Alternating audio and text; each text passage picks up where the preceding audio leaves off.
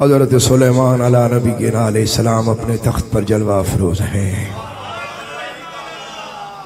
आप जानवरों की बोलियाँ भी जानते थे। आप तशीफ फरमा है, आपकी समात इतनी आला अल्लाह ने बनाई थी। बड़ी दूर दूर तक भी कोई जानवर बोलता था तो आपको अपने कानों से वो सुनता था। आप उसकी आवाज़ को सुन लिया करते थे। आपके कानों में आवाज़ पड़ी। एक मादा, एक नर। चिड़िया, मादा चिड़िया और नर चिड़िया आपस में गुफ्तगु कर रहे हैं। हज़रत सलेमान सलाम उनकी गुफ्तगु को सुन रहे हैं।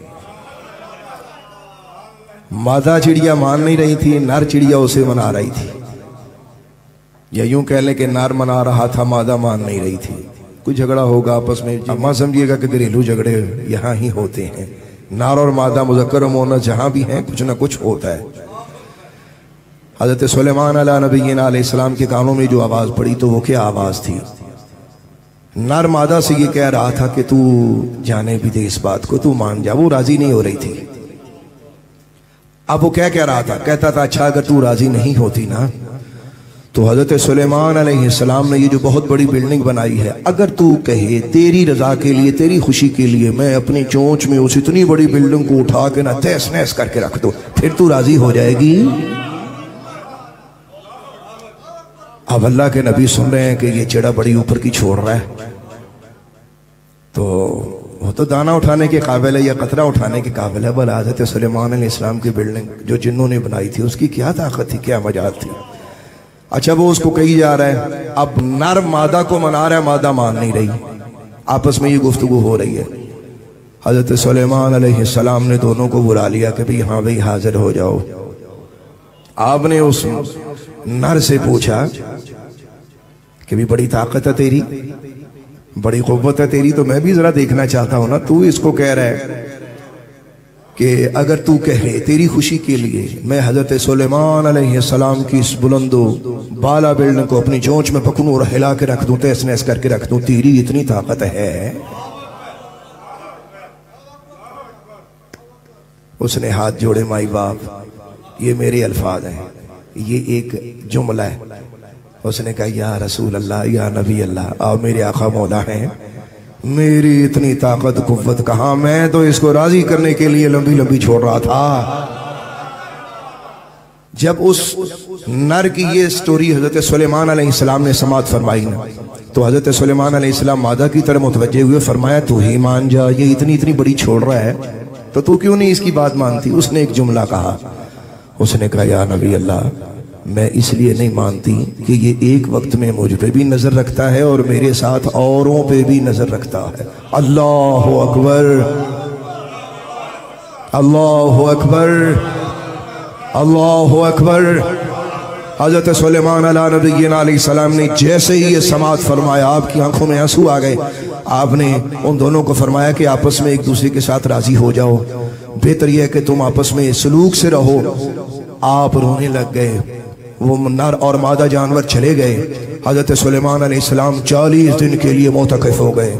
आपने चालीस दिन के लिए खलबत इख्तियार फरमाई और अंदर बैठ कर इंतहाई जारो जार जारो जार जारो जार।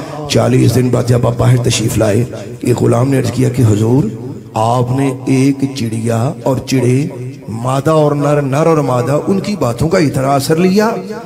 आपने फरमाया हर बंदे की आँख और नज़रिया जुदा होता है।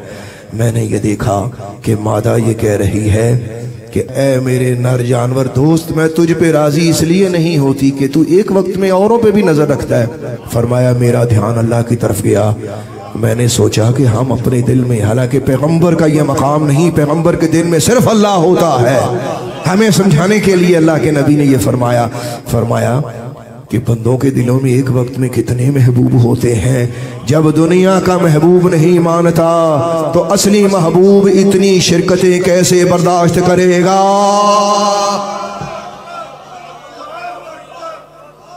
असली महबूब इतनी शराकत कैसे बर्दाश्त करेगा? बंदे एक नु हो के एक यकसू हो के एक नु पालो अपने दिलों के कबले सीधे करो। इसीलिए मुर्शद कहते हैं ना कि दिल की तरफ़ ध्यान करो, तुम्हारी दुनिया की ज़िंदगी भी बदलेगी और आखिरत के खजाने भी तुम्हारे कदमों में अल्लाह ताला डाल देगा। अब आपको ये मेरी बात समझ आइए दिल की दुनिया बदलने के लिए, दिल की दुनिया बदलने के लिए आपको यकसो होना पड़ेगा। कौन है इंशा अल्लाह बदलेंगे? ये आज नया साल शुरू हुआ है।